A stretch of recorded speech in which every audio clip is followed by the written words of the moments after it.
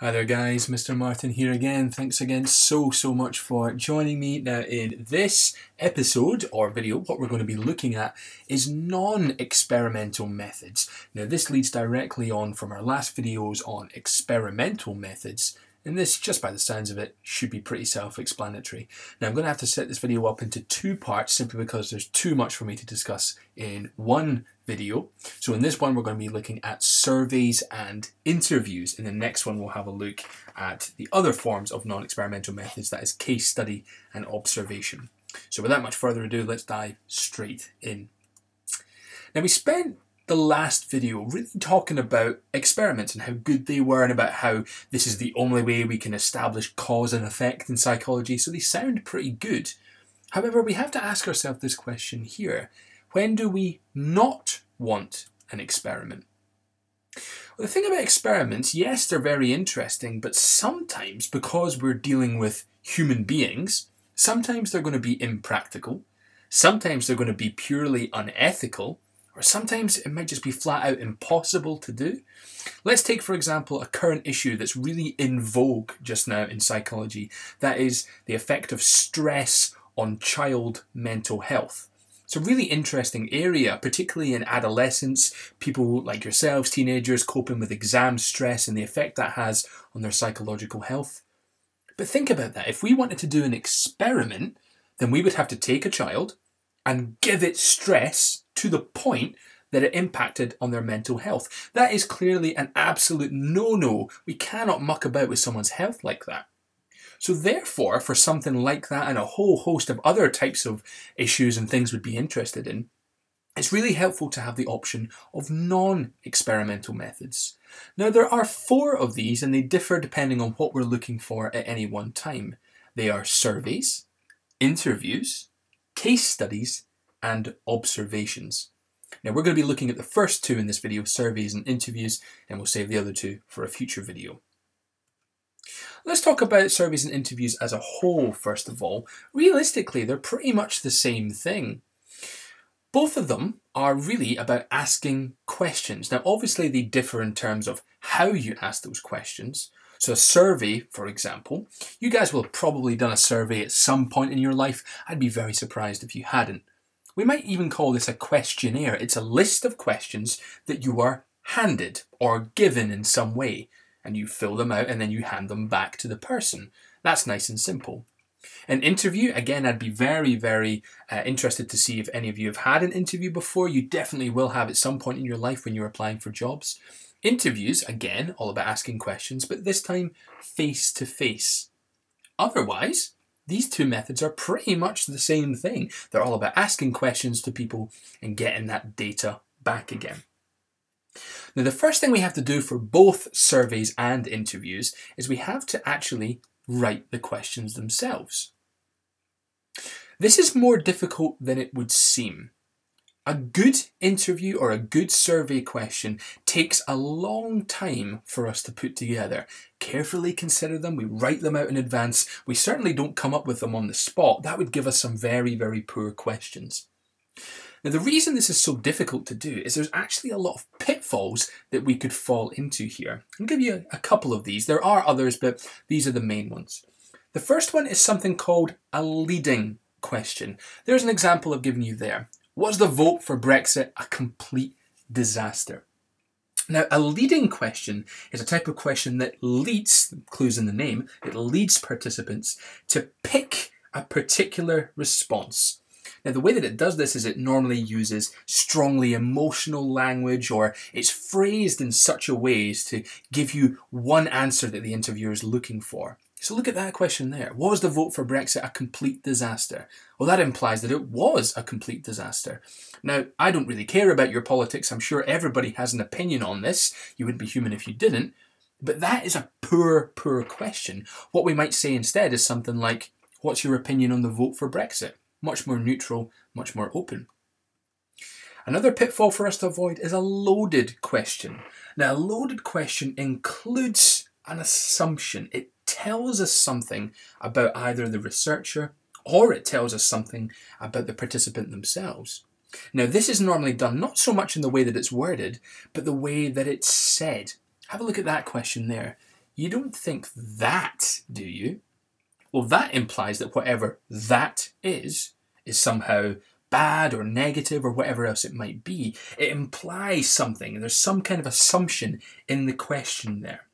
Do you think that all immigrants should be prevented from claiming housing benefit? There's an assumption in there that somehow immigrants are wrong or negative or whatever else it might be. That's a poor question. A better question might be Do we think that any immigrants should be prevented from claiming housing benefit? Not all immigrants, but any immigrants. The last thing for us to focus on here is jargon. Now, jargon's a really kind of complex word. What it really means here is any kind of language that is technical or something that a participant might find difficult to understand. There's an example there. Do you find revising rather difficult when you are not in a state of cognitive flow? Well, that's a difficult question, right? Because we have to know what cognitive flow is first. Are some age laws of this country problematic? Well, what is an age law? The participant might not know. So we have to avoid jargon, phrase it in kind of simple English, make sure that everyone understands. Other things we have to consider for writing questions are what type of questions to go for. Now these fall into two rough categories, open and closed. Now an open question is a very neutral, open-ended question and it allows the respondent to use their own words in response. So there's an example. What can you tell me about Scotland? It's up to the participant to fill in the blanks there. They will tell you what they want to know, or rather what they know about Scotland. You haven't led them into anything, they're just responding based on their own merit. The opposite of that is a closed question. That normally only has one, maybe two answers, or somehow it's a little bit more locked down. This one is sometimes regarded as being the more negative of the two. Sometimes a closed question is regarded as being worse than an open question. Well, that's not true. A closed question has a place and it has a time as well. But psychologists, for lots of reasons, prefer open questions. The last thing we have to consider in here is something called bias. Now, even if our questions are carefully worded, there's the possibility that the data that we gather is going to be biased in some way. Now, we're dealing with humans here, we're dealing with human participants, and they will change their answers depending on lots of factors. Two of the main things that we have to consider here are as follows. One of these is something called acquiescence bias. This is something kind of quirky about human nature, in that participants, humans in general, prefer to say yes than they do to say no. Sounds a bit weird, doesn't it? But for example, if you were asked, Do you have a good memory? you'd probably say yes. People generally like to agree with you. But if I also asked you the same, a different question, Are you always forgetting things? then you would also probably answer yes. Even those two questions are contradictory to one another. Particip- participants rather like to say yes, so therefore, we have to have a balance of both positive and negative questions on the same issue, just to make sure that we can get round acquiescence bias. The other type of bias that I'll tell you about is social desirability bias. Participants distort the truth in order to make themselves look good now, this is just human nature, sadly. People like to impress other people. Why else do people buy flash cars and designer clothing? They like to be impressive. If I was to ask you, how many units of alcohol do you drink per week? You are probably going to undercut the actual answer. How many cigarettes have you smoked in your lifetime? How much exercise do you do? You will answer to make yourselves look good, even if that answer isn't true. So therefore, we have to be really careful with social desirability bias. So long as we recognize that that happens, that's normally enough. Okay, let's say we've constructed our survey, we've got a good mixture of open and closed-ended questions, we've avoided leading, loaded questions and jargon. What do we do next? Well, if it's a survey that we've got, we have to distribute it. Now, in the past, this was normally done with one way, and that was by post. This is a little bit more old fashioned now. You do sometimes still get surveys through the post, but it's gradually becoming less and less common. Nowadays, much more common to have a survey delivered via email. It's also quite common to have it delivered via social media, Twitter or Facebook, whatever it might be. And there's also even dedicated online survey tools. SurveyMonkey, for example, is a really, really good one. We really like SurveyMonkey because it gives you fast data really, really quickly. Let's evaluate surveys for a second, guys. Looks pretty good as a non-experimental method, but there's a couple of things we have to say about it. Strengths, first of all, quick and easy to answer. Participants will generally fire through a survey, particularly if there's a limited amount of questions, very, very quickly, and they find it quite easy to do as well. In this way, the psychologist can gather a huge amount of data. Another strength of this is that answers can be analysed easily. Sometimes answers can even be analysed by computer. We don't have to sit there and pore through every single answer. We get the computer to do it for us. Nice and simple. Negatives, however, is that a survey doesn't really allow our participants to express their opinions. They're only really given a fixed list of questions and a fixed list, fixed rather list of answers. Well, does that tell us anything about that human at all? Probably not. It tells us about the survey itself, but not the kind of deeper human interest that they have. It doesn't allow participants to ask for further explanation either. Let's say, for example, there's a question, they're puzzling over it, they're not 100% sure what it means or how it's worded. Well, they can't get in touch with you. They can't really ask you, can you clarify that and put it in different language? No, either they have to skip it or they have to answer it untruthfully. We're not really sure about that one. And the last one, and probably the most difficult part about using surveys, is you get an extremely low response rate. Normally, 99% of people, they see a survey turn up in their email inbox or in their Facebook, and they just delete it straight away. They just simply can't be bothered. Even if it's a five or a 10 minute survey, people have too much, uh, too much to do, too little time on their hands. They tend not to do it. If you do get any surveys back at all, count yourself lucky because it's a difficult one to do. A little bit more to say about interviews here. There's a couple of different types of interview that we can do, but just remember otherwise this is pretty much the same thing. We still have to construct our questions, we still have to make sure that we're avoiding all the pitfalls. So what type of interview are we going to go for? Each one of these is face-to-face, -face, of course it is, but there's lots of different types we can do. Three of them I'll tell you about. Here's one, a structured interview. Structured interview uses a fixed list of questions and carefully planned as we've already described. It's pretty much similar to a survey except that it's face to face. The interviewer doesn't go beyond those questions. They will only ask the questions that's on their sheet, except of course to make clarifications as and when necessary. Now, a structured interview mainly uses closed questions, but they're pretty useful if I've got a large number of participants to do and we don't have a lot of time on our hands, so it can be quite useful. Opposite of a structured interview is an unstructured interview.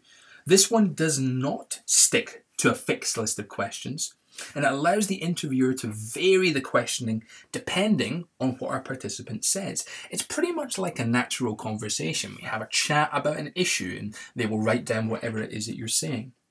Normally we use open questions in this one and it gives us rich, detailed data, really, really useful. The last kind I'll tell you about is something called a semi-structured interview.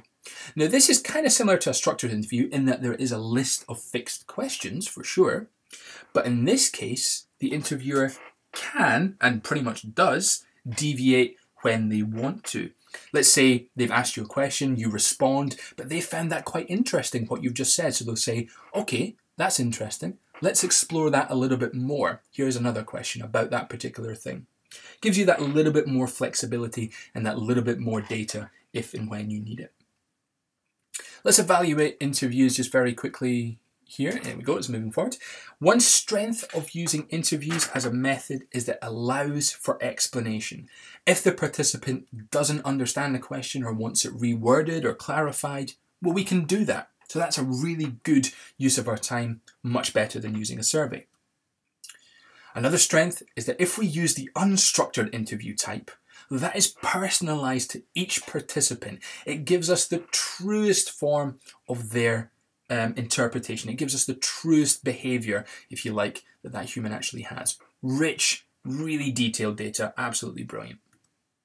However, in negatives, we obviously get social desirability bias. We can't avoid that. People always do that, and it's always an issue if we're asking them questions. And the last thing is that unstructured interviews are costly and time consuming. Imagine how much time and energy it takes to do, let's even say five or six interviews. Let's imagine we've got 600 people to get through, especially if it's an unstructured interview. It's going to take forever and it's going to cost a huge amount of time. As well as that, if we're only using open questions, then that is going to be 600 individual answers that we have to go through. We can't let the computer do it because it's going to be personalized to them, so we have to pore over each answer individually. Incredibly difficult, incredibly time consuming, makes it very, very difficult to use effectively. Key concepts for this one then guys, we've looked at two different types of non-experimental methods, survey and interview. We've talked about leading and loaded questions. We've talked about jargon as well. We've talked about the two different types of biases, that's acquiescence bias and social desirability bias. And then lastly, we spoke about the different types of interview that we have as well. If you can understand these key concepts and make sure that you understand each one of these individual things, particularly the different types of non-experimental methods, then we'll be off to a winner. Thanks very much, guys. Thanks very much for listening, and I hope your psychology revision is going great. Look out for my next video coming soon, which will be on the other types of non experimental methods that's observation and case study. Until then, guys, take it easy, and we'll see you next time. Cheers.